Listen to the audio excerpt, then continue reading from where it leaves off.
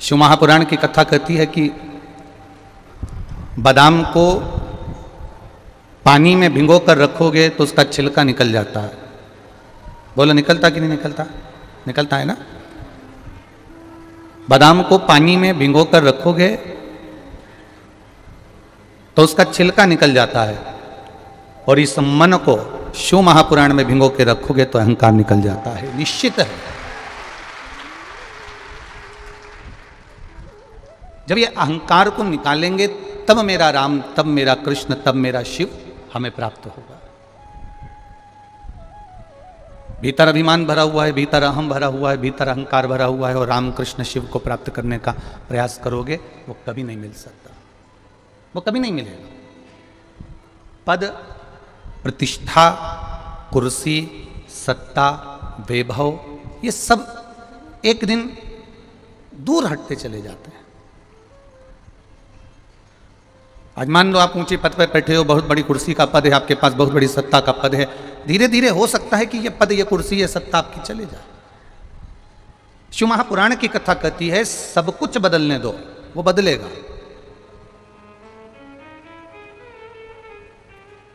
सब कुछ बदलने दो, वो बदलेगा।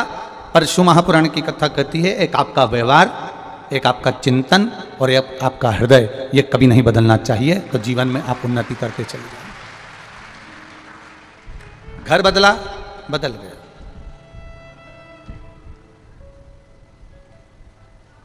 और हम आपसे भी एक निवेदन करना चाहेंगे, बड़े भाव से कहना चाहेंगे। घर कहीं पर भी मना लो, मना नहीं है। इंदौर में रह रहे हो, देवास में रह रहे हो, भोपाल में रह रहे हो, लखनऊ में रह रहे हो, कानपुर में रह रहे हो, औरंगाबाद में रह रहे हो, चाहे पूना में रह रहे हो, चाहे जम्मू में रह रहे हो, चाहे कश्मीर में रह रहे हो घर कहीं पर भी बना सकते हो और कहीं पर भी बना लोगे। पर निवेदन है, घर बदल लेना, कपड़े बदल लेना, फ़ैशन बदल लेना, पर अपना सनातन धर्म कभी मत बदलना।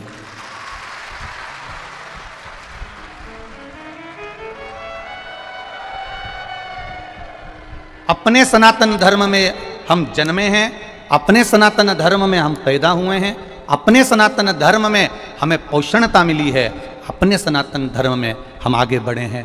घर बदल लोगे चल जाएगा, कपड़े बदलोगे चल जाएगा, रकम बदलोगे चल जाएगा, पर निवेदन है अपना सनातन धर्म, अपना उस पावन धर्म को बदलने का कभी प्रयास मत करना।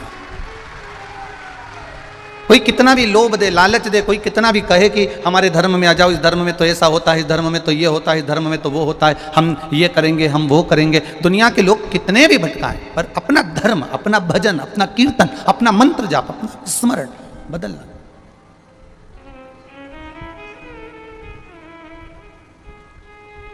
ये दुनिया के लोग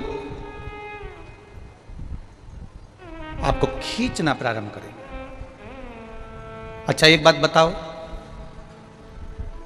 प्रत्येक पेड़ पर इतने सारे पत्ते लगते हैं। प्रत्येक वृक्ष पर ढेर सारे पत्ते लगते हैं। कभी वृक्ष को पत्ते के नाम से नहीं पहचाना जाता। वृक्ष को पहचानते हैं तो उसमें जो फल लगा है, उससे पहचानते हैं। इसमें इमली लगती है, ये इमली का पेड़ है। इसमें आम लगता है, ये आम का पेड़ है। इसमें खजूर लगती है, ये खजूर का पेड़ है। इसमें संतरा लगता है, संतरे का पेड़ है। इसके पत्ते से इसकी पहचान नहीं है, इसके फल से इसकी पहचान है। उसी तरह हमारे सनातन धर्म की पहचान भगवान शंकर के भजन से होती है। जगत गुरु शंकराचार्य जी ने जगत गुरु शंकराचार्य जी बार बार बोले हैं, शिव तत्व से हमारा सनातन धर्म है। इसलिए जगत गुरु शंकराचार्य जी ने चार पीठों का निर्माण करा और चारों पीठ पर भगवान शंकर को ले जाकर विराजमान कर दिया कि शिव होगा तो राष्ट्र होगा।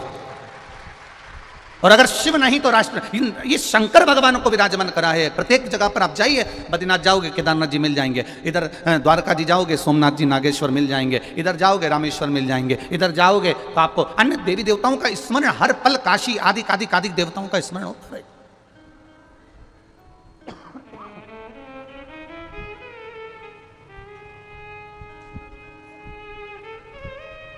अब, जैसे बॉर्डर पर सैनिक खड़ा होता है। हथगोले, बंदूक लेकर जगत गुरु शंकराचार्य जी ने भारत माँ की बॉर्डर पर भी चार पीठ बनाकर चार जगह पर मेरे महादेव को त्रिशूल लेकर खड़ा कर दिया है।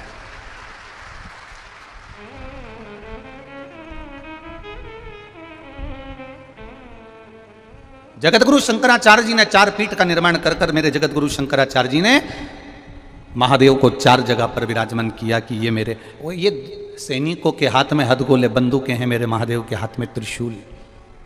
मेरे महादेव के हाथ में डमरू है। वो जब नाद करता है हिल जाती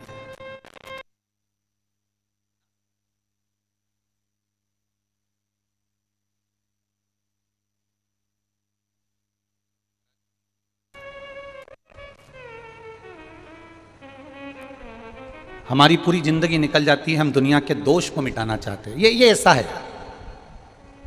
ये ऐसा है। हमारी पूरी ज़िंदगी निकल गई, हमने दुनिया के दोष को मिटाते मिटाते और दुनिया के दोष को देखते देखते।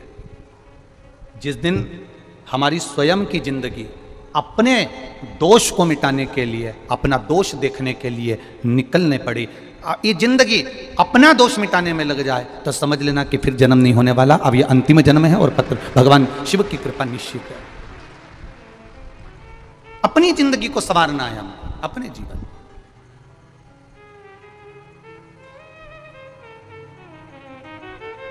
उसने ये करा, उसने वो करा, इसने ये किया, उसने वो किया, ये पूरी ज़िंदगी निकल गई हमारी।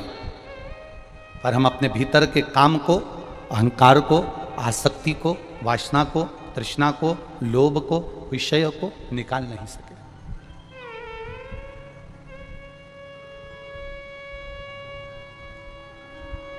कई लोग कहते हैं रुद्राक्ष से चमत्कार होता है।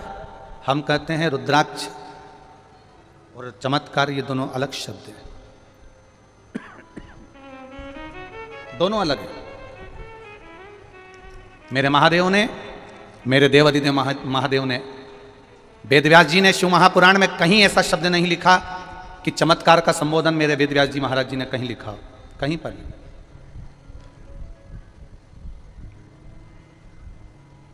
मेरे वेदव्यास जी ने पूरी शिव महापुराण में चमत्कार शब्द को कहीं नहीं लिखा।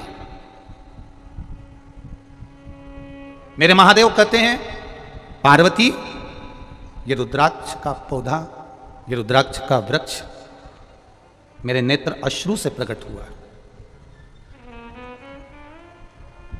ये रुद्राक्ष का पौधा, ये रुद्राक्ष का वृक्ष मेरे नैन अश्रु से प्रकट हुआ है। पार्वती, ये रुद्राक्ष एक मुखी से लेकर चौदह मुखी तक रुद्राक्ष शिव महापुराण की विद्येश्वर संहिता में लिखा है और एक मुखी से लेकर इक्कीस मुखी तक रुद्राक्ष स्कंद पुराण में लिखा है। एक मुखी से लेकर चौदह मुखी तक रुद्राक्ष का वर्णन गर्ग संहिता में भी आता है और एक मुखी से लेकर चौदह मुखी तक अट्ठारह मुखी तक रुद्राक्ष का वर्णन लिंग पुराण के अंतर्गत भी आता है। ये स्वयं मैंने प्रकट करा। शिव जी कहते हैं, मेरे नज़दीक आने वाले को चमत्कार से मतलब नहीं होना चाहिए। जो तुमसे कहे कि हमारे यहाँ चमत्कार होता है तो कहता रहे, पर कुबरेश्वर धाम पर केवल कंकर और शंकर है और आपका विश्वास है, यहाँ चमत्कार नहीं, यहाँ बेल और भभूति नहीं। यहाँ बेल और भभूति नहीं है। यहाँ मेरे शिव का विश्वास है। भरोसा, दृढ़ता। और ये भरोसा नहीं तो और क्या है? लोग कह रहे थे, रुद्राक्ष के लिए लोग आए हैं, नहीं मिलेगा, चले जाएँगे। अब जरा विचार करिए, एक, दो, तीन, चार, पाँच, और पीछे का पूरे पंडाल और अंदर के पूरे पंडाल, ये रुद्राक्ष के लिए नहीं कंकर शंकर के लिए आए।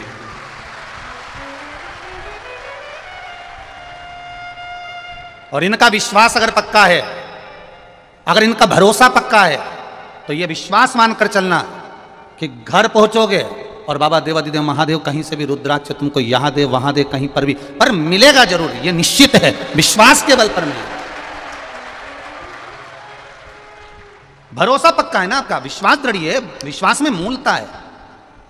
विश्वास अगर पक्का है तो गधे में से मेरा गोवर्धन नाथ मेरा श्री जी बाबा प्रकट हो सकता है। विश्वास में मूलता है तो मंदिर का गेट बदल सकता है। विश्वास में मूलता है तो अवध छोड़कर, अयोध्या छोड़कर मेरे राम ओरछा के नगर में आकर विराजमान हो सकते हैं। विश्वास पक्का है तो मीराबाई को दिया गया जहर भी अमृत हो सकता है। विश्वास पक्का है तो कर्माबाई की खिचड़ी भी अमृत हो सकती है। यह विश्वास की मूलता में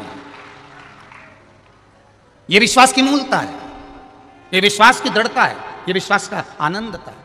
कहीं मत जाओ। अपना घर और अपने घर के पास में जो शिवालय हो, अपने घर के पास में जो शंकर का मंदिर हो, शिवालय हो, अपने घर के पास में जो देवादिदेव महादेव का स्थान हो, वहाँ जाकर बस विश्वास रखकर एक लोटा जल समर्पित करना प्रारंभ करो। धीरे धीरे तुम जल जिस हाथ से चढ़ाओगे, वो हाथ मेरा महादेव पकड़ कर रखेगा, छूटने नहीं देगा। वो छूटने नहीं देगा। बादाम को पानी में गला देने से छिलका निकल जाता है और इस आत्मा को, चित्त को, वृत्ति को, शरीर को, मन को शिव महापुराण में गला देने से हमारे भीतर का काम अहंकार, तृष्णा निकल जाता है। हमारी विषय वासना, हमारी आसक्ति, हमारी तृष्णा बाहर निकल जाती है। चित्त वृत्ति में शिव समाया हो, शंकर हो चित्त वृत्ति में महादेव हो चित्त वृत्ति में शंभु हो। भटकाएँगे लोग, कहेंगे कहने वाले कहते रहेंगे। महाराज तुम्हारा भजन का बल कम नहीं होना चाहिए। लोगों को बहुत विचलित किया जाता है जब जब वो सत्संग संकीर्तन भजन में जाने का प्रयास करते हैं। मंदसौर में कथा होने वाली थी तब भी, भी कहीं ना कहीं लोगों ने गलत बातों का स्मरण किया फिर कहीं कथा होने वाली थी। हमने देखा है शिव महापुराण जब जब होती है उसके पहले कुछ ना कुछ ऐसा क्रम होता है जिसके कारणवश भक्त कथा से वंचित हो जाएँ, भक्त कथा से दूर हो जाएँ, भक्त कथा को छोड़ दें ये प्रयास किया जाता है। पर मेरा महादेव आपका हाथ ऐसा पकड़ता है कि खींच कर बुला ही लेता है। यह शिव तत्व। है ये भगवान ओगरदानी की कृपा, ये उसकी दया है। मैंने तेरे ही भरोसे, बाबा तेरे ही भरोसे, हवा बिच उड़ती जावांगी, बाबा डोर हटो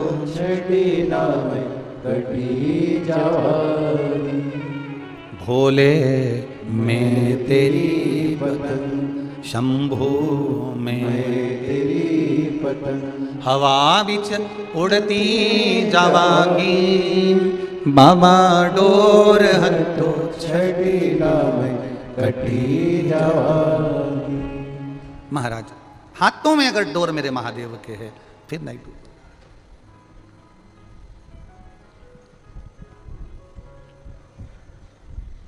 बस उसके भरोसे और जब हम उसके भरोसे पर होते हैं तो वो भी हम पर पूर्ण भरोसा करता है। हम उसके भरोसे जब होते हैं, वो हम पर पूर्ण भरोसा करता है।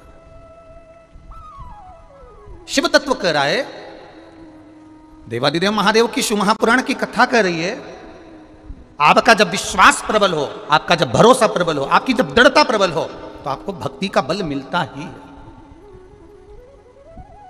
महाराज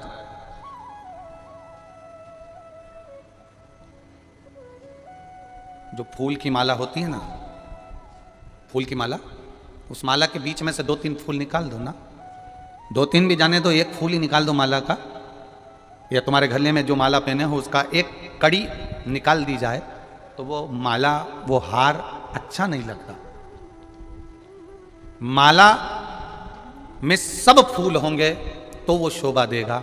उसी तरह जैसे माला में से एक फूल निकाल दिया जाए तो माला शोभा नहीं देती और हमारे जीवन से अगर हमारा महाकाल निकल जाए तो ये जीवन भी शोभा नहीं देता। शिव का नाम भगवान शंकर का शब्द, दक्ष प्रजापति ने यज्ञ करा। दक्ष प्रजापति ने यज्ञ रचा। दक्ष प्रजापति यज्ञ कर रहा है और दक्ष प्रजापति जब यज्ञ कर रहे हैं, सबको बुलाया पर शिव को नहीं बुलाया। यज्ञ की शोभा रही? सबको बुलाया, पर मेरे महादेव को नहीं बुलाया। सबको निमंत्रण दिया गया, पर मेरे महादेव को निमंत्रण नहीं दिया गया। महाराज, भले ना बुलाया हो मेरे महादेव को, भले ना बुलाया हो, फिर भी महादेव तो महादेव है। कितना विचित्र काम दक्ष प्रजापति जी ने किया था कि भगवान शंकर आए तो उन्होंने कह दिया दक्ष प्रजापति की सभा में शिव बैठे हैं और सबने प्रणाम करा, पर महादेव उठकर देख नहीं पाए, क्योंकि कुछ हो जाता है कहीं कहीं व्यक्ति अपनी मस्ती में बैठा रहता है, नहीं देख पाया। कहीं व्यक्ति अपनी मस्ती में बैठा है, नहीं देख रहा।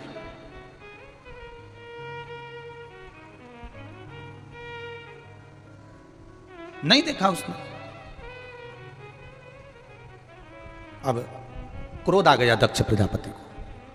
और दक्ष प्रजापति को जब क्रोध आया और दक्ष प्रजापति ने क्रोध में आकर कह दिया, देवादिदेव महादेव, तुम मेरे दामाद हो, तुम मेरे जमाई हो और तुम मेरे जमाई होकर तुमने अपने ससुर का अपमान करा। मैं आया और तुमने मुझे प्रणाम नहीं करा। मैं आया और उठकर खड़े नहीं हुए। मैं तुम्हें श्राप देता हूँ कि तुम शमशान में निवास करोगे। शंकर भगवान बड़े प्रसन्न हो गए कि मेरे ससुर ने मुझे प्लाट दिया, मेरे ससुर ने मुझे मकान दिया तो ऐसी जगह दिया जहाँ कोई कब्जा नहीं करेगा। शमशान में मेरा निवास हो जाएगा। उसमें कोई टेंशन नहीं। अब स्वयं के ससुर इतनी बड़ी बात कर रहे हैं कि तू शमशान में रहेगा। अब ये बात अगर कोई तुमसे कह दे, जाओ तुम तो मसान में जाओ। अब यही बात तो उनके ससुर ने की थी कि शमशान में जाओ बुरा लगा क्या देवादिदेव महादेव को? जम के बोलो, जरा लगा? नहीं। और तुमसे अगर कोई कुछ कह दे, जरा सा कुछ कह दे, बस जरा सा। तुम भोजन की प्लेट लेकर गए। और उसने तुमको नुक्ति दे दी। आज का क्या बना था? नुक्ति, खिचड़ी, पूड़ी, मिक्सचर, मिर्ची का अचार। यही था ना? तो मान लो पड़े अब किसी ने तुमने प्लेट आगे करी, उन्होंने तुमको पूड़ी दे दी, खिचड़ी दे दी, सब दे दिया। अब तुम कह रही हो कि नहीं, मुझे तो दो पूड़ी दे। टेबल पर खड़ा हुआ व्यक्ति कहेगा, अच्छे से खाओ, फिर लेकर आओ, फिर लेकर जाओ। झूठा ना छूटे वो डस्टबिन भरना ना पड़े, इसलिए जितनी बार लोगे उतनी बार मिल जाएगा। पर किसी ने कहा, नहीं, मैं तुमको दो दे दिया हूँ, अभी तुम इतना खा लो, आ जाना। उतनी देर में हमको क्रोध जाग गया, उतनी देर में हमको हमारा अहम जाग गया। हाओ। खिलाने वाला खिला रहा है, बनाने वाला बना बना रहा है, और ये अच्छे से परोस भी नहीं सकते। अब तुम्हारे भीतर ये भाव जाग गया, परंतु अन्न भाग हमारे हाथ में है, भोजन भाग हमारे हाथ में भोजन और ये भोजन भाग हमारे हाथ में है और हम भोजन ग्रहण कर रहे हैं उस समय पर, हमें क्रोध का त्याग कर कर चलना चाहिए, जिससे हम भोजन ले रहे हैं, हमको ये मानना चाहिए कि ये स्वयं महादेव की अन्नपूर्णा हमको प्रदान कर रही है और अमृत के तुल्य दे रही है।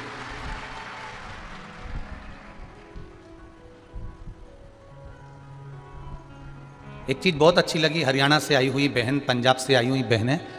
आप लोगों की एक बात बहुत अच्छी लगी कि आप जितनी भी हरियाणा, दिल्ली और उस साइड के जितने बेल्ट से लोग आए हुए हैं, जम्मू आदि आदि तक के, इनकी एक बात बहुत अच्छी लगी कि ये अपने बैग में रख के इतनी बड़ी प्लेट साथ लेकर आए हैं। खुद की प्लेट लेना, खुद पाना, खुद आनंद से धो लेना और खुद ले जाके रख देना। कोई चिंता नहीं, कोई टेंशन बहुत, इसको कहते हैं सत्संग का एक आनंद। सत्संग का एक स्वरूप और सेवा में भी तत्परता रख रहे हो। और ऐसा नहीं कि सेवा में कोई तत्पर नहीं। सारे जितने जगह से आप लोग आए यहाँ पूरा भारत की भूमि का ऐसा कोई प्रदेश नहीं है जिस प्रदेश का व्यक्ति यहाँ नहीं है। सब प्रदेश का व्यक्ति है। ऐसा कोई प्रदेश नहीं जिस प्रदेश का व्यक्ति यहाँ नहीं है। सब प्रदेश का। और एक व्यक्ति सेवा नहीं कर रहा, ऐसा नहीं, सबने सेवा करी। सुचारू रूप से करी। सबने सेवा करी। महाराज,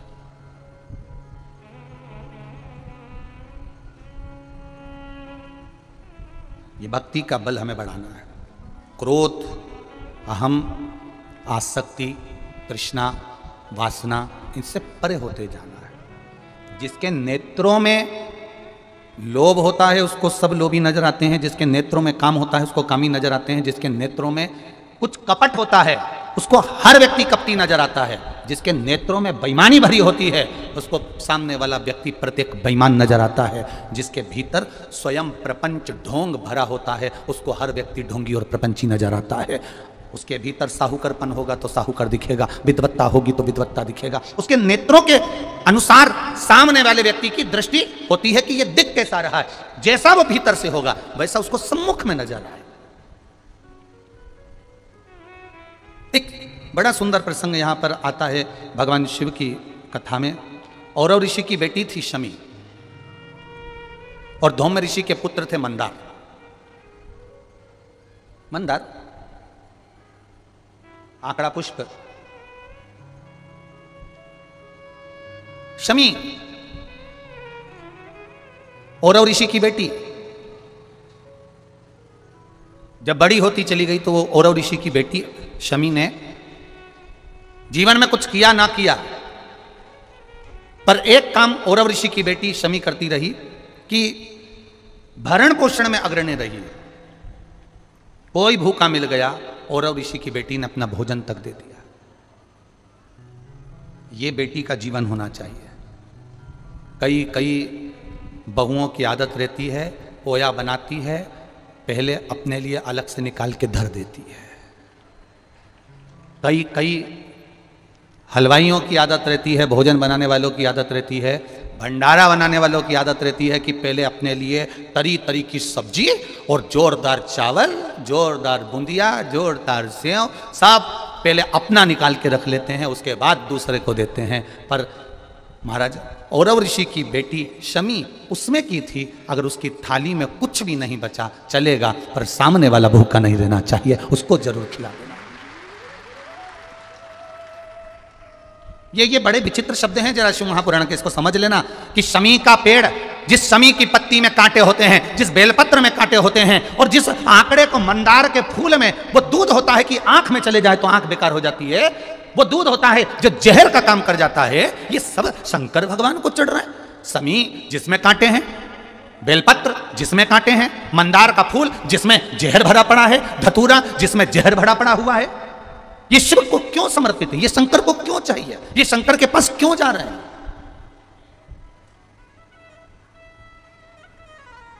क्यों? उसका एक कारण है। सत्य बोलने वाला हमेशा बुरा होता है। हमेशा बुरा होता है। और वो सत्य बोलने वाला व्यक्ति आप ही इतने सारे बैठे हो। आप इतने सारे बैठे हो। आपका बेटा रोज रोज अगर सुंदरकांड में जाएगा रोज रोज रामायण में जाएगा रोज रोज शिव महापुराण की कथा में जाएगा रोज रोज भगवान की कथा में जाएगा, आपका बेटा रोज रोज भगवान के भजन में लगेगा, या आस्था चैनल को खोलकर शिव महापुराण की कथा सुनेगा, या फेसबुक, यूट्यूब पर शिव महापुराण की कथा सुनेगा। तो तुम, तुम्हारे परिवार वाले सब एक बात कहेंगे, कहाँ चक्कर में पड़ा है? तीन तीन, चार चार दिन तक चले जाता है मैं क्या मिल रहा है? सीहोर में जाने से क्यों जा रहा है? क्यों कथा में पहुँच रहा है? अब भजन में जाने वाले को दुनिया के लोग ताना देकर रोकने का प्रयास करते हैं, पर आज तक हमें ऐसा व्यक्ति नहीं मिला कि तुम्हारा बेटा कहीं शॉपिंग मॉल में जा रहा हो, किटी पार्टी में जा रहा हो, दोस्तों के साथ एंजॉय करने जा रहा हो, और किसी माँ बाप ने कह दिया हो, क्यों जा रहा है मॉल में? क्यों जा रहा है पार्टी में? क्यों जा रहा है वहाँ? अगर रोकते हैं तो धर्म की जगह पर रोका जाता है। रोकते हैं तो सत्कर्म की जगह पर रोका जाता है। रोकते हैं तो कहीं भगवत भजन में जाने से रोका जाता है। पर गलत जगह पर जाने से हमारे बच्चों को हम नहीं रोकते। और होता क्या है? उल्टा क्रम हो जाता है। जो बच्चा कभी सत्संग में जुड़ा नहीं, जिसने कभी ज़िंदगी में गीता पढ़ी नहीं, फिर वही बेटा एक दिन अदालत में खड़ा होकर गीता की सुगंध खाता है। जिसने कभी जीवन में गीता को पढ़ा नहीं, जिसने जीवन में कभी रामायण को पढ़ा नहीं, जिसने जीवन में कभी श्रीमद भागवत को पढ़ा नहीं, जिसने जीवन में कभी शिव महापुराण को जाना नहीं, जो शंकर को केवल दुनिया के लोगों ने कह दिया, शिवलिंग का मतलब क्या होता है? गलत महत्व समझा दिया। कि शिवलिंग के पूजन मत करो, लोगों ने कह दिया शिवलिंग पर जल मत चढ़ाओ, कई लोगों ने कह दिया था शिवलिंग पर चढ़ा हुआ जल मत पियो, कोई ने कह दिया शंकर पर चढ़ा हुआ प्रसाद मत खाओ। अरे कौन सी पुराण कह रही है? किस पुराण में लिखा है कि शंकर भगवान को समर्पित पदार्थ को नहीं खाया जा सकता?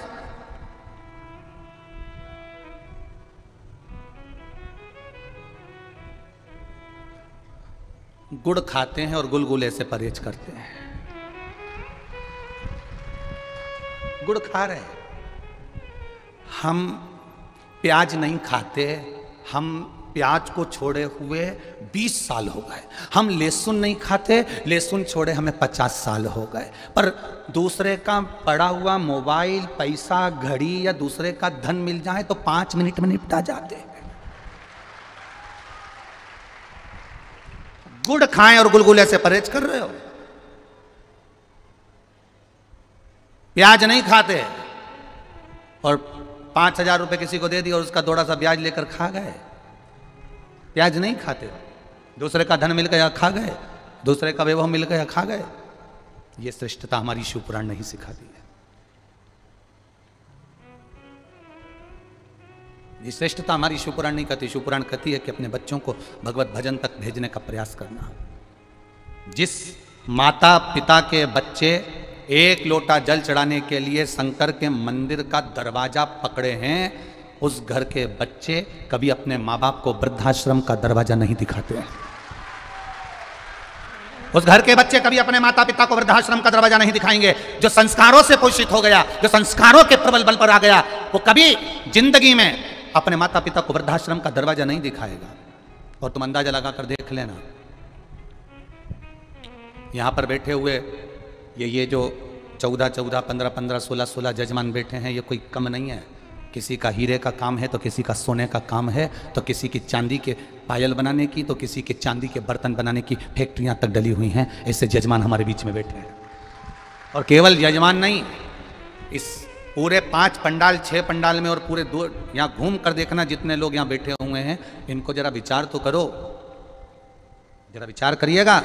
इनसे बात करिएगा तो इनका व्यवहार में आपको मालूम पड़ेगा। किसी की पाँच दुकानें, किसी की सात दुकानें, किसी की इतनी प्रॉपर्टी है, कोई फैक्ट्रियों का मालिक है, कोई कुछ है। फिर भी वो शंकर के चरणों में केवल दरी डालकर और एक कम्बल ओढ़कर पड़ा है और श्री शिवाय नमस्तुभ्यम बज रहा। श्री शिवाय नमस्तुभ्यम भज रहा है और हमें जरा सा बल मिल गया, हमें जरा सी सत्ता मिल गई, हमें जरा सा वैभव मिल गया, हमें जरा सा लोगों ने चाहना प्रारंभ कर दिया, हमें जरा सा लोगों ने कहना प्रारंभ कर दिया, वाह भैया वाह भैया वाह भैया कर कर। जब लोगों ने हमारी प्रशंसा करना प्रारंभ कर दी तो हमने सोचा, हम ही सर्वश्रेष्ठ बन गए। और दूसरे को नीचा दिखाने का प्रयास करने लगे। अरे इनसे सीखो, जिनके घर में चार चार नौकर पाँव की चप्पल तक उठाने के लिए हैं महाराज, जो अपनी प्लेट खुद मांझ कर भोजन कर रहे हैं। इनसे सीखना चाहिए।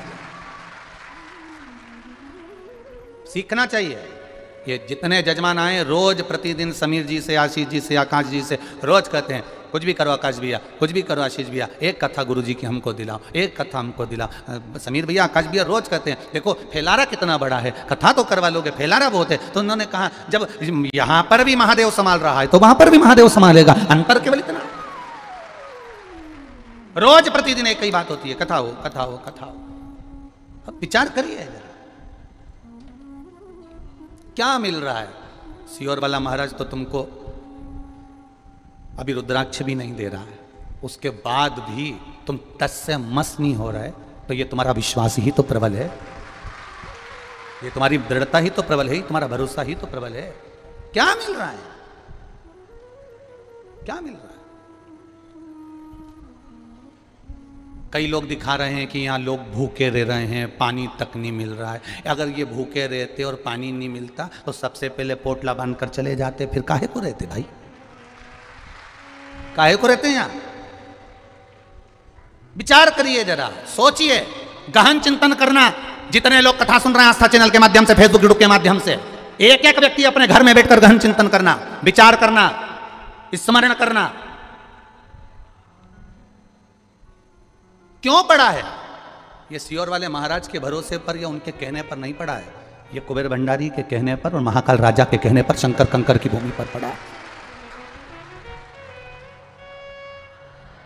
एक दिन में बीस लाख भक्त, और ना निमंत्रण, ना पत्रिका, ना कहीं कुछ, ना कहीं कुछ, ना चावल, ना धावल, कुछ नहीं। और एक साथ बीस लाख भक्त एक साथ पहुँच जाएँ तो ये शिव की कृपा के सिवा कुछ नहीं हो सकता। कुछ नहीं हो सकता इसके सिवा। कोई साधन नहीं है। और सबसे बड़ी प्रसन्नता होना चाहिए सनातनियों को।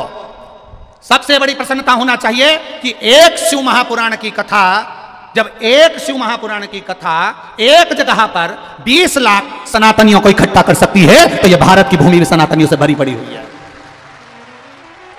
ये भारत की भूमि भी सनातन धर्म से भरी पड़ी हुई है। केवल संत, साधु, सन्यासी, तपस्वी, साधक, उपासक अपनी भक्ति को, अपनी दृढ़ता को, अपने विश्वास को प्रबल रखकर भगवान का भजन करें। हम कई बार कथाओं में कहते हैं, कुछ सुधर जाए तो राष्ट्र सुधर जाएगा। कलाकार सुधर जाए, राष्ट्र सुधर जाएगा। सलाहकार सुधर जाए, राष्ट्र सुधर जाएगा। कथाकार सुधर जाए तो राष्ट्र सुधर जाएगा। अहमता को दूर पटको, अहंकार को दूर पटको, अपनी अभिमत्ता को दूर पटको। और जब अभिमत्ता को हमने दूर पटक दिया तो आप सुधरे हो।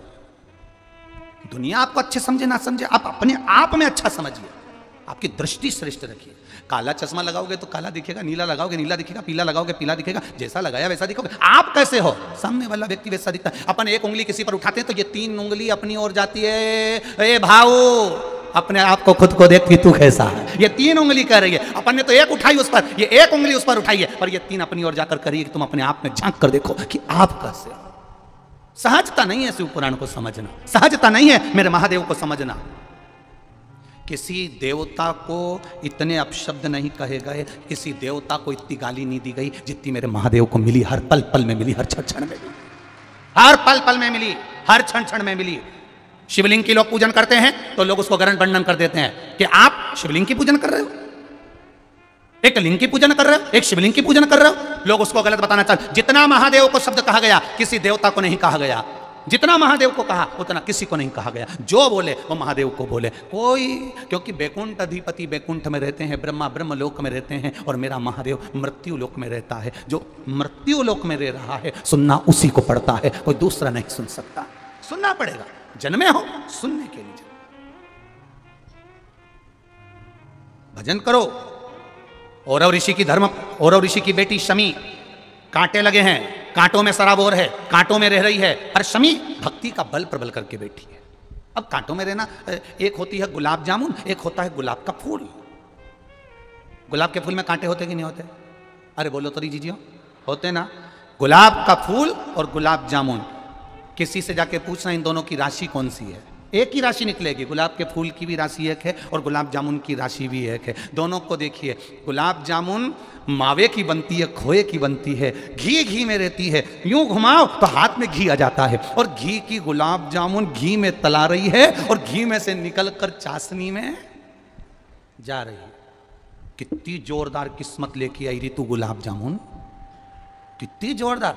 घी में शराब और मली घी में छोड़ी चारी निकाला और चाशनी में चली गई। कितनी जोरदार किस्मत लेकर आई है। और वो गुलाब का फूल कांटों में पैदा होता है, कांटों में बड़ा होता है, कांटों में जन्म लेता है, कांटों में मुरझा जाता है। वो गुलाब का फूल कांटों से टूट जाता है। दोनों में, दोनों की राशि एक है, दोनों में कितना अंतर है? एक घी में शराब है, निकलने के बाद चाशनी में शराब है और दूसरा कांटों में शराब है। बस अंतर एक है। गुलाब जामुन घी में रहती है, निकलकर चाशनी में जाती है और चाशनी में से निकलकर मुख में जाती है और बाद में वो भ्रष्टा में चली जाती है और गुलाब का फूल कांटों से निकलकर मेरे महादेव के चरणों में चला जाता है। दोनों में अंतर है। गुलाब जामुन चाशनी में तरबतर है गुलाब जामुन घी में तरबतर है गुलाब जामुन अपने रंग में तरबतर है पर खाने के बाद भ्रष्टा में चली जाती है और गुलाब का फूल कांटों में रहने के बाद, टूटने के बाद मेरे महादेव के चरणों में, मेरे राम और कृष्ण के चरणों में चला जाता है। भक्त ऐसा ही होता है। दुनिया के लोग इस पर गाली देंगे, अपशब्द कहेंगे, कांटे देंगे और वो कांटों में पनपता जाएगा पनपता जाएगा और वो गुलाब का फूल टूटने के बाद फिर मेरे महादेव के चरणों में अपने आप चला जाएगा। होता है। कहे। कहे।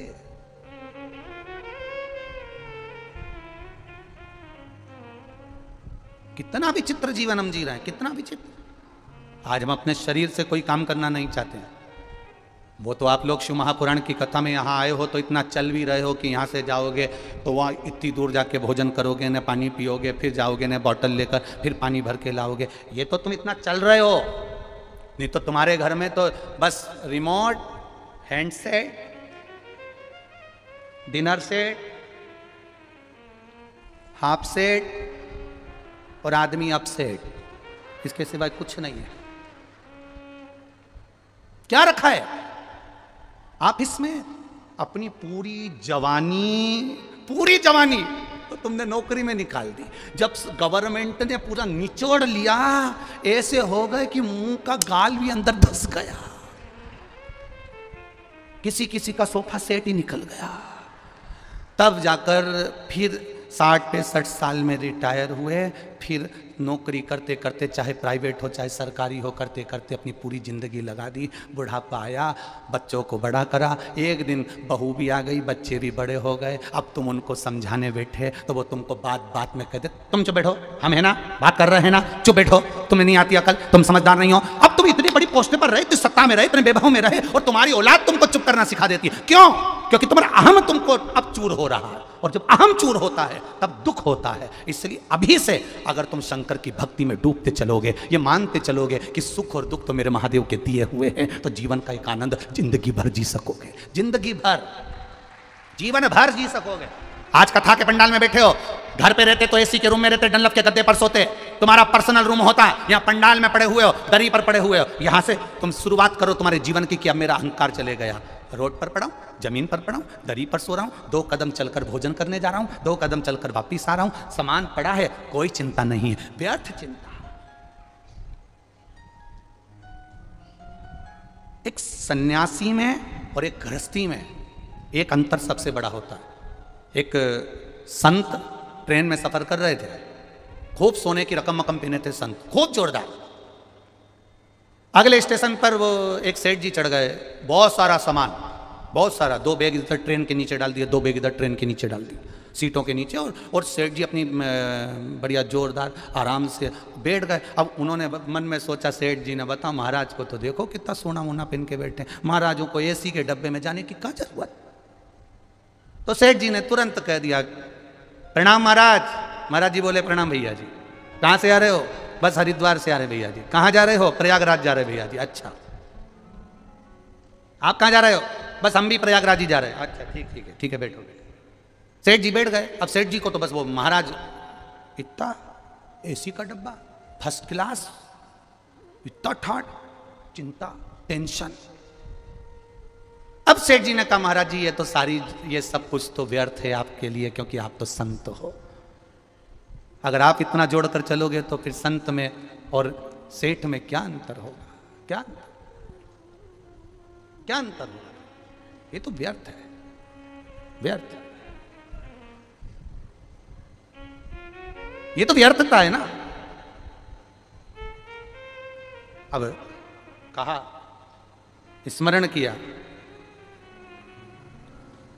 देखा। ये तो व्यर्थता है सेठ जी ने कहा, नहीं, व्यर्थता नहीं है। तुम में और हम में बहुत अंतर है। आप कह रहे हो आप में और हमें कोई अंतर नहीं है? बहुत अंतर है। बहुत अंतर बहुत अंतर क्या अंतर है? संत संत कुछ भी सामग्री एक मिनट में छोड़ सकता है कुछ भी सामग्री एक मिनट में छोड़ सकता है मन बच्चे थोड़ा सा जाकर देखिए। अब संत एक मिनट में छोड़ सकता है। संत एक मिनट में छोड़ सकता है। और महाराज, धन वैभव की सत्ता में हम नहीं छोड़ पाते। ऐसा हो नहीं सकता। उन्होंने कहा करके बता सकते हैं। अगला स्टेशन आया। संत भी उतरे, सेठ जी भी उतरे, दोनों नीचे उतर गए। और जब दोनों नीचे उतरे, उतरते से जैसे ही दोनों उतरे बात करने लगे, ट्रेन चलने लगी, ट्रेन चलने लगी तो सेठ जी का हाथ संत ने पकड़ लिया, छोड़ नहीं रहा। सेठ जी का हाथ संत ने पकड़ा, छोड़ नहीं रहा। बहुत प्रयास करा गया, पर नहीं छूटता, बहुत प्रयास करा। नहीं छूटा और जब नहीं छूटा, ट्रेन निकलने लगी, ट्रेन जाने लगी सेठ जी कहने लगे, मेरा सामान भरा पड़ा हुआ है। इतने में संत ने कहा, सामान तो हमारा भी रखा हुआ है, बस तुम में और हम में यही अंतर है। हमें एक क्षण में छोड़ना जानते हैं और तुम ज़िंदगी भर जोड़ना जानते हो। संत, साधु, सन्यासी, तपस्वी, साधक, उपासक, ये मानकर चलता है कि सर्वस्वता कुछ नहीं सब नष्ट। भगवान शिव की कथा कर रही है, ओगरदानी का चरित्र कर रहा है, शिव महापुराण कर रही है आपका विश्वास जब जागृत होगा, आपका भरोसा जब प्रबल होगा, आपकी दृढ़ता जब प्रबल होगी और आपके भरोसे के साथ में आपका विश्वास जब दृढ़ होगा, तब आपको कहीं जाने की ज़रूरत नहीं पड़ेगी। महादेव स्वयं आपको ढूंढता हुआ आपके पास आ जाए। ये आपका विश्वास प्रबल होना चाहिए, दृढ़ होना चाहिए, भरोसा प्रबल होना चाहिए, दृढ़ होना चाहिए। विश्वास पक्का करें, भरोसा दृढ़ करें। और उस भरोसे पर जीना प्रारंभ करें, उस भरोसे शंभु शरने पड़ी, मांगू घड़ी रे घड़ी, दुख काटो। दया करी दर्शन शिव तत्व कह रहा है महाराज। भगवान शंकर का गुणगान कह रहा है। शिव तत्व कह रहा शमी कांटों में। रमी हुई है, लदी हुई है, पर भाव शुद्ध है उसका। भाव गड़बड़ नहीं हुआ उसका। मंदार, धौम्य ऋषि का पुत्र, या आंकड़ा, मंदार, धौम्य ऋषि का पुत्र। कई लोग पूछते हैं, गुरुजी, आपने एक बात कही कि तुमरुका जी का नाम लेकर सफ़ेद आंकड़े की जो जड़ होती है, शिव जी का उसका स्मरण कर कर इक्कीस बार कमर में बांधा जाता है उसको। नारी का जो रजो धर्म होता है उसके, कौन से दिन? सातवें दिवस। क्या इतना, उस मंदार का, उस इतना वर्णन होता शिव कथा कह रही है। शमी कांटों में रहकर भगवत भजन कर रही है और मंदार, जो स्वयं धौम्य ऋषि के पुत्र हैं, वो साधारण नहीं है धौम्य ऋषि का पुत्र मंदार। वो आंकड़ा साधारण नहीं है। वो आंकड़े की जड़, वो आंकड़े का पुष्प, साधारण नहीं, मंदार का पुष्प साधारण नहीं। शिव भक्ति के अंदर लिए महाराज, मंदार सोनक ऋषि के यहाँ पर विद्या अध्ययन करने के लिए गए। अब धौम में ऋषि के पुत्र जब विद्या अध्ययन करने के लिए शोनक बाबा के यहाँ जाते हैं शोनक ऋषि के यहाँ पहुँचते हैं। तो एक बार भुषुंडी ऋषि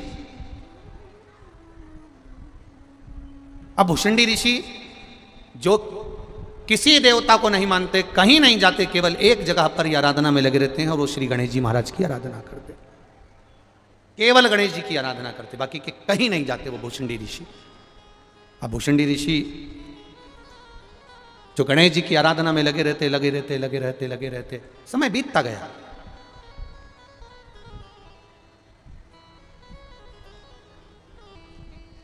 बहुत लंबा समय निकल गया गणेश जी की आराधना करते करते। बहुत ध्यान देना महाराज। सत्ययुग में त्रेता युग में, द्वापर युग में और कलयुग में। बहुत बड़े बड़े अंतर हैं, उसको समझिएगा। सत्ययुग में हज़ारों वर्ष तक तप करना पड़ता था, साधना करना पड़ती थी, तब भगवान प्रसन्न होकर वर देता था। तब मेरा परमात्मा आता था, तब मेरा भगवान आता था। त्रेता द्वापर। त्रेता के अंतर्गत बहुत यज्ञ अनुष्ठान करो, बहुत साधना करो, तब जाकर भगवान प्रसन्न होते थे। द्वापर में भी खूब तप साधना करो, तीरथ करो, तब भगवान प्रसन्न होते थे। पर आप और हमको एक सबसे बड़ी खुशी मनाना चाहिए कि अपन कलयुग में रह रहे हैं। इस कलयुग में केवल भगवान का नाम ले लेना और एक लोटा जल चढ़ा देने पर ही भगवान प्रसन्न होते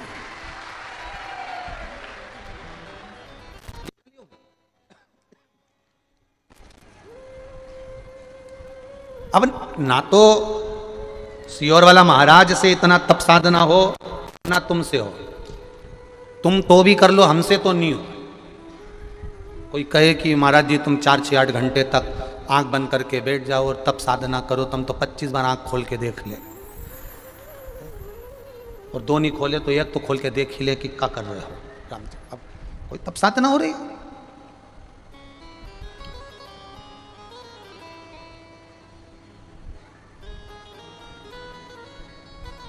अब एक वो, एक व्यक्ति को एक साधना कक्ष में बिठा दिया।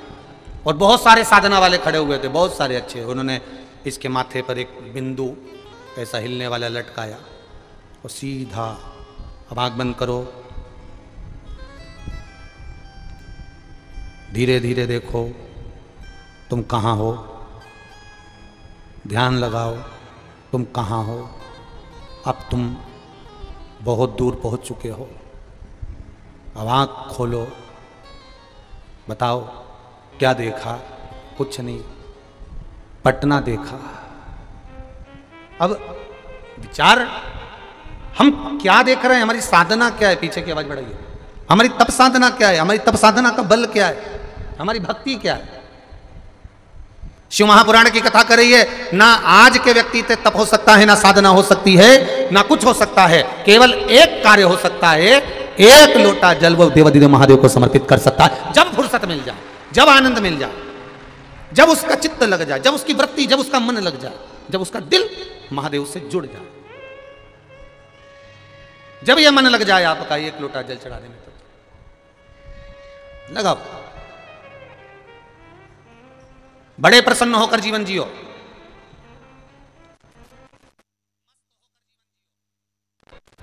और जितनी मस्ती में जीवन जी सकते हो, जितनी खुशियों में जीवन जी सकते हो, उतना जियो। मस्त होकर जीवन जियो। क्योंकि सीरियस तो आदमी हॉस्पिटल में भी पड़ा रहता है। हॉस्पिटल में कोई मस्त नहीं पड़ा रहता, खुश होकर नहीं पड़ा रहता। मस्त होकर जीवन जियो। आज भूषुंडी ऋषि आए और भूषुंडी ऋषि जैसे ही आए, गणेश जी की आराधना में लीन है, भगवान की भक्ति में लीन है, कोई मतलब नहीं किसी से। अपनी आराधना, अपना तप, अपनी साधना और उसका बल, इसके सिवा कुछ नहीं जानते भूषुंडी बाबा। भूषुंडी जी ने कुछ नहीं कुछ नहीं। ऐसी तप साधना, ऐसी तप साधना श्री गणेश जी महाराज की करी। गणेश जी प्रसन्न हो गए।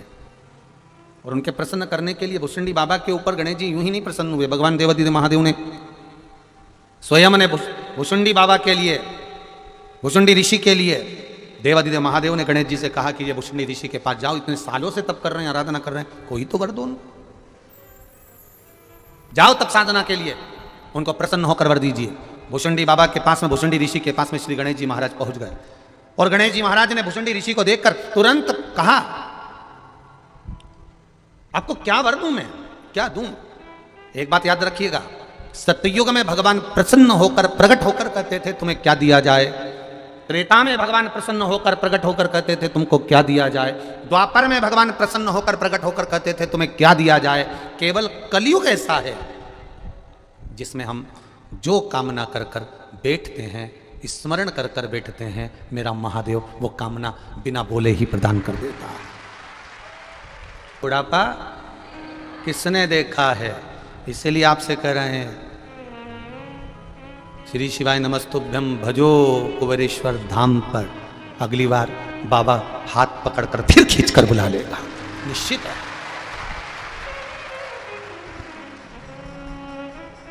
हो सकता है भीड़ अपार है अव्यवस्था हो सके, भोजन में थोड़ी देर हो सके, पानी मिलने में थोड़ी देर हो सके। रुद्राक्ष विश्वास करता उसकी कृपा मिलने में थोड़ी देर नहीं हो सकती। कोई हमारे कष्ट होंगे जो हमको यहाँ पर कहीं ना कहीं कुछ ना कुछ थोड़ा कष्ट सहन करना पड़ रहा हो। समझ लेना। समझना। गोली में ज़्यादा दम होता है कि इंजेक्शन में ज़्यादा दम होता है? जम के बोलो जरा। इंजेक्शन में दम होता है। गोली खाने में दर्द होता है कि इंजेक्शन में दर्द होता है? इंजेक्शन। इंजेक्शन से दर्द होता है, कष्ट होता है दर्द होता है, मलना पड़ता है, बर्फ़ लगाना पड़ता है, आँख में से आँसू आ जाते हैं, चीख निकल जाती है, थोड़ा दर्द हो सकता है। पर वो इंजेक्शन लगने के बाद बीमारी जब ठीक हो जाती है, तब लगता है, भले इंजेक्शन लगा, थोड़ा कष्ट हुआ, दर्द हुआ, पर ठीक तो हो गया। हुआ। शिव महापुराण की कथा कर रही है, यहाँ आने के बाद भी अगर आपको दुनिया के लोग कह रहे हो। चाहे दुनिया के लोग कितने भी कहें। लिखने वालों ने लिख दिया वहाँ तो खाने को नहीं, ना पीने को नहीं। अगर खाने और पीने को नहीं होता तो मेरी जी हो तुम ठहर पाते। जरा विचार तो करिए, एक अंदाज़ा तो लगाइए। विचार करिएगा जरा। दस रुपए की बाटल को पचास पचास रुपए में बेचा है, इतना हृदय को घात लगा है कि बोल नहीं सकता, बस कथा बाच रहा हूँ, इससे बढ़कर कुछ नहीं हो सकता। जहाँ का मैं गुणगान करता था कि आपको बुलाकर आनंद की अनु, वहाँ विचार करिएगा, यहाँ से सीहोर जाने के लिए लोडिंग में जिस व्यक्ति ने लोडिंग लगाई, एक व्यक्ति से मात्र रेलवे स्टेशन ले जाने के तीन तीन सौ रुपए लिए उसका हृदय घात है मुझे, अंदर से दुखी हूँ इस चीज़ के लिए। कितनी तमन्ना! बरहानपुर कथा करी पूरे खोल दिया भंडारा दुनिया के लोगों ने। परवणी करी भंडारे खोल दिया मालेगांव करी पूरे भंडारे खोल दिए। मालूम नहीं था कि यहाँ गेहूँ के खेत में भी अगर कोई फ्रेश होने जाएगा तो उससे भी बीस रुपए लिए जाएँगे। ये ज़िंदगी में नहीं सोचा था हमने।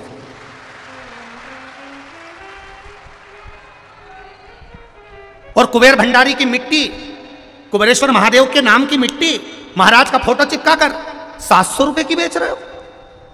गजब। गजब? नहीं सोचा था। विचार ये विश्वास से कहता हूँ, जो नज़ारा अभी देखा है, इस नज़ारे के बल पर कहता हूँ, अगला रुद्राक्ष महोत्सव होगा, रुद्राक्ष भले वितरण नहीं हो, पर तुम्हारे लिए आरओ के वाटर की पूरी व्यवस्था और लेट बात की पूरी व्यवस्था और रुकने की पूरी व्यवस्था यही होगी। कोई धर्मशाला और कोई होटल नहीं। होटल से बड़ी होटल का निर्माण और होटल से भी सुंदर टेंटों का निर्माण, भले कुछ भी लगे, पर सारे होटल जैसी सुविधा इसी प्रागण्य में मेरा बाबा देवादिदेव महादेव कराएगा। कहीं नहीं जाने दूँगा। और सब निशुल्क सब निशुल्क, कहीं नहीं ठहरना अपने को। बाबा के धाम में पड़े रहना, कंकर में पड़े रहना। के रूम एक हज़ार के। और यहाँ कमरे वालों से मांगने गए तो पाँच हज़ार कर दिया। वो भटक रहा है। ये कहाँ की रीत है बाबा? कहाँ की रीत? ये मत सोचना सियोर वाला महाराज। तुम तुम्हारे बाप के घर में, पिता के घर में आए हो। उस पिता के घर में पिता को भी दुख होता होगा, जब उसकी बहन बेटी या उसके बेटे को कष्ट होता होगा। ये मत सोचिए आप। धन्यता है मेरे। मैं कहना नहीं चाहूँगा, बस इतना ज़रूर कहना चाहूँगा कि मुझे परखने में देरी हो गई। मैं मेरे बाबा में लगा रहा। इन जनमानस को नहीं परख पाया बाबा। बस मुझे क्षमा करना कि मैं इनको जान नहीं पाया। नहीं जान पाया।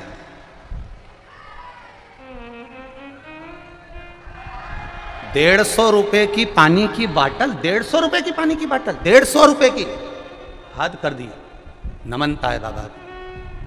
भोजन का पंडाल अभी इस बार पाँच लाख लोगों को एक साथ भोजन कराने के लिए पंडाल लगाया, अगली बार दस लाख लोगों को केवल भोजन कराने के लिए पंडाल लगाएँगे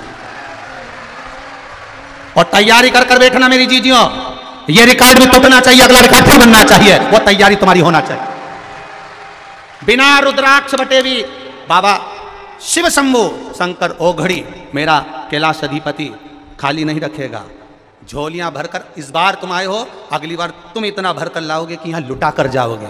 ये मेरा विश्वास कहता है। जैसे एक महाराष्ट्र का, एक महाराष्ट्र का कोई भाई रोज आता था और रोज ना जाने कहाँ से पूरी सब्ज़ी बनवा कर लाता, कहाँ से फरियाल बना कर लाता, रात को ट्रक भर के लाता और बाहर लुटा कर चले जाता। नमन है आपकी भक्ति को, नमन। साधु साधु कहूँगा मैं आपको, प्रणाम करता हूँ भाई। कोई आया, पानी की बोतल भर लाया, एक लाख। लुटा रहा है। साधुवाद है मेरा। आपको बहुत बहुत धन्यवाद। मेरा विश्वास, इस कार्यक्रम को करने से पहले छत्तीसगढ़ और महाराष्ट्र ने एक एक ट्रक भर के खाने का अनाज भेज दिया था। ऐसे छत्तीसगढ़ और महाराष्ट्र वालों को नमन करता धन्यता। मैं साधुवाद दूँगा मन के सुकून भोपाल वालों को। ये मन के सुकून के लड़के, इनको भले ठेला चलाते हैं, सब्ज़ी बेचते हैं, झाड़ू लगाते हैं, अपनी ड्यूटी पूरी कर कर रात को नौ बजे यहाँ पहुँचते हैं। और 12 एक बजे तक सब लोग जो चारों तरफ़ गंदगी कर देते हैं, ये हाथों से भर भर कर उसको गाड़ी में भर कर फेंक कर आते हैं। ऐसे मन के सुकून के लड़के। धन्य है, प्रणाम आपको। आपके चरणों को भी दस बार धोकर पीऊं तो मैं छोटा रहूँगा आपके आगे, आपकी भक्ति के आगे। नमनता है आपको।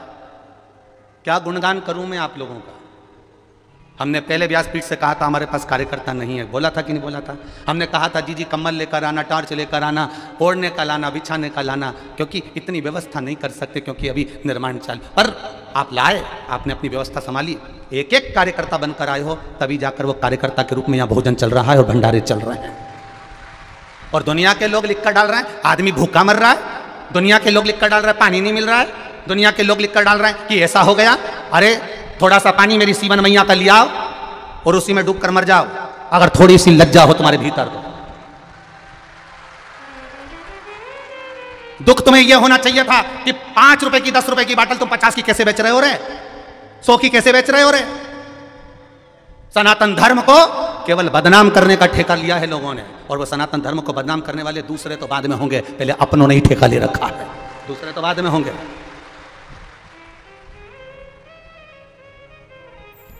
शिव कृपा हो। सीखने को मिला है। बहुत सीखने को मिला है। बहुत कुछ सीखने को मिला है। और इसी सीख का नज़ारा बाबा दिखाएगा ज़रूर। सीखने को मिला है। सीखो, आनंद लो। अपने जीवन का एक रस तत्व ग्रहण करो। एक रस तत्व अपने। विश्वास रखना मेरे शंभू पर। विश्वास रखना मेरे भोलेनाथ पर। विश्वास रखना मेरे देवाधिदेव महादेव पर। उसका भरोसा मत टूटने देना। तुम उसका भरोसा नहीं टूटने दोगे, वो तुम्हें नहीं टूटने देगा। ये निश्चित है। आए। कहने वाला कहता रहेगा, और अपन अलमस्त होकर अपनी ज़िंदगी जियो। मस्ती में मस्त होकर।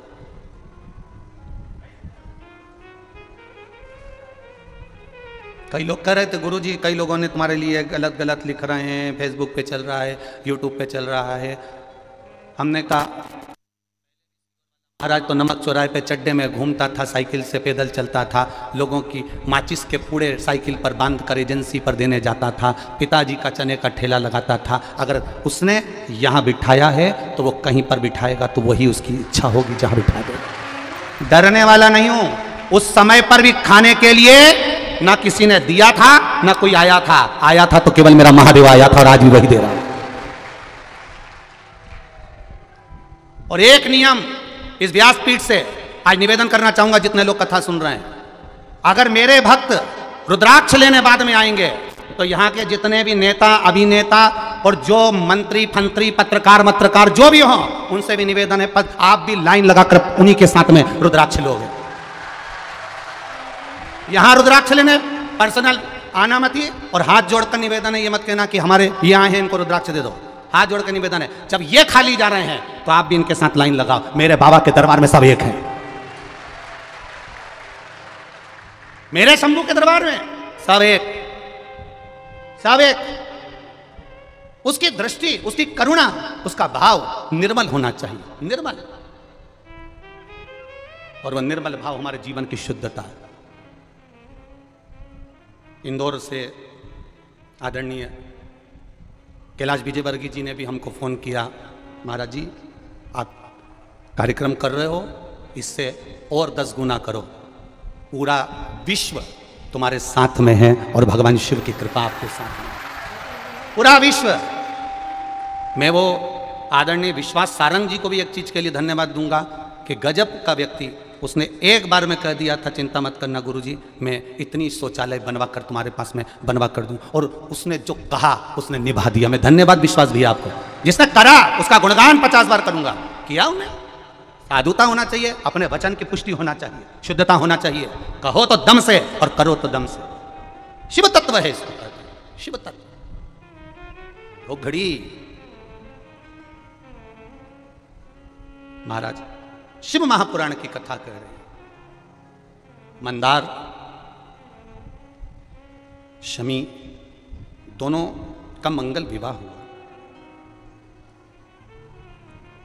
मंदार और शमी दोनों का मंगल विवाह हुआ।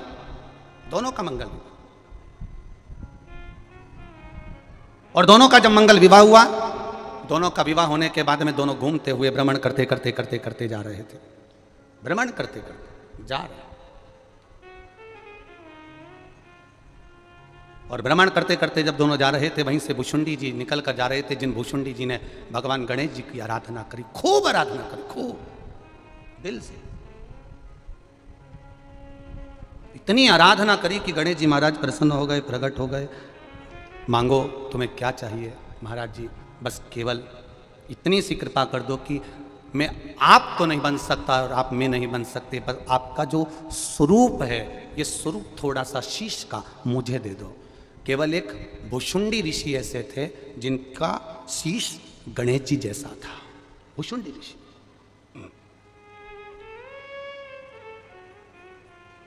जिनका शीश गणेश जी जैसा था।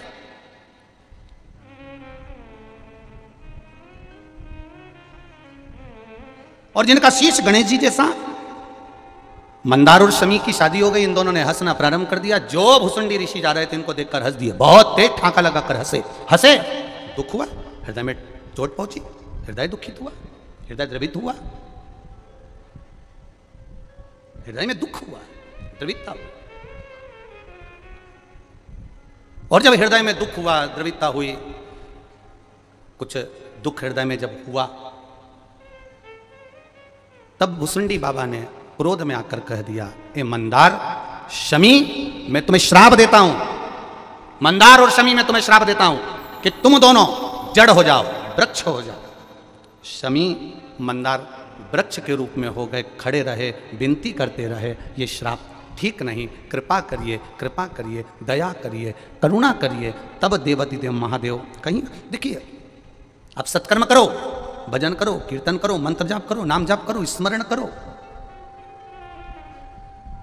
पर उसमें तुम्हारा समर्पण मूल होना चाहिए। हमारे सीहोर के एक एक समाज ने एक एक संस्था ने कहीं पूड़ी, कहीं सब्ज़ी, कहीं कुछ कहीं कुछ ये खिलाया, करा, सेवा करी, धर्मशालाएँ खोली। उसका एक जो समर्पण तुमने करा है, उसका फल, जिसने निष्कपट भाव से करा, उसका फल मेरा महादेव देता ज़रूर है, ये निश्चितता है। करा मेरे नगरवासियों ने मेरे सिद्धपुर की धरा के निवासियों ने जैसा पिछले वर्ष संभाला था इस वर्ष भी संभाला। ये, ये उनकी साधुता है। ये उनके हृदय का आनंद है। एक एक मंदिर देवालय खोल दिए ये उनका हृदय का आनंद है। ये उनके हृदय का सुख है।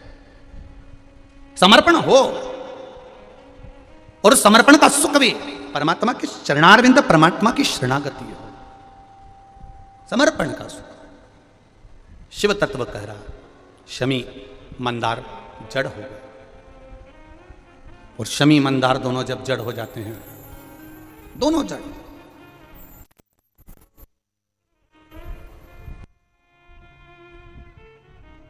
खड़े हैं, शिव स्तुति कर रहे हैं। किससे कहें? जब एक्सीडेंट होता है, बड़ा रोग होता है बड़ी बीमारी होती है, बड़ा कष्ट आता है। तब कोई तुमसे ये नहीं कहेगा कि तुम राम रक्षा स्त्रोत का पाठ करो, कि यह पाठ करो, कि कनक धारा का पाठ करो, कि श्री सूक्त का पाठ करो, पूर्व सूक्त का पाठ करो। ये कोई नहीं कहेगा।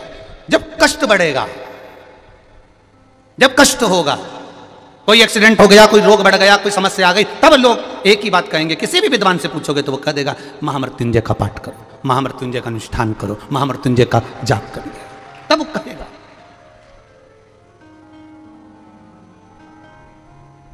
करो महामृत्युंजय का पाठ।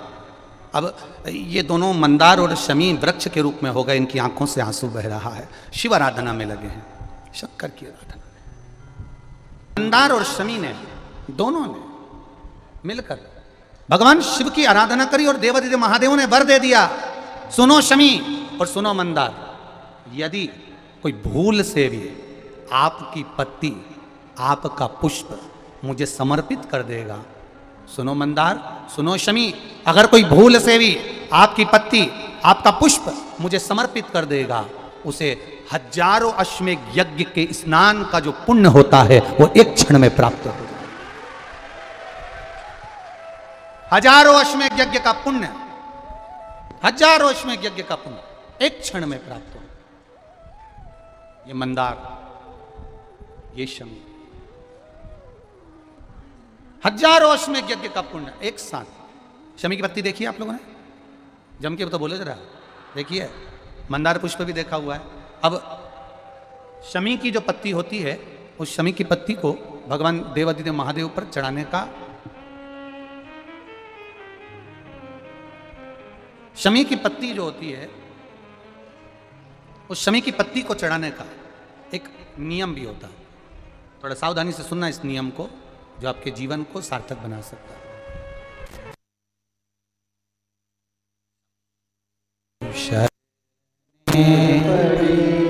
मांगो घड़ी रे दुख कारो। दया करी दर्शन आपो। दया करी दर्शन शमी की पत्री को चढ़ाने का एक नियम है। बड़ा सुंदर नियम आपके जीवन में उतारने लायक। महाराज,